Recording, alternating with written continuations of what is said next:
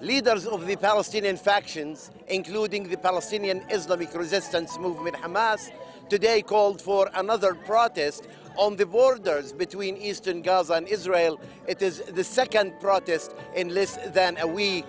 Hamas leaders said that the protests will continue until Israel lifts the blockade that had been imposed on the Gaza Strip for around 14 years.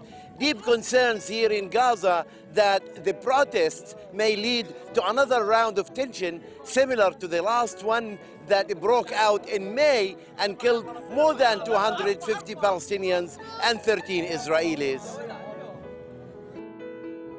نحن متواجدون حتى نرفع الصوت ضد الاحتلال الإسرائيلي وضد ممارساته بالحصار الجائر والظالم على شعبنا.